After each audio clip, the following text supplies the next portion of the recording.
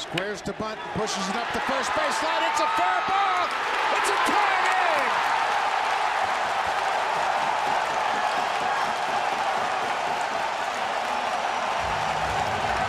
That was the safety squeeze that the Blue Jays put off. You square, you get it down, and if it's a good bunt, the runner at third base can go. It didn't look like the suicide squeeze where you take off on the pitch. You read it, John McDonald, one of the best bunters on the team, perfectly lays it down.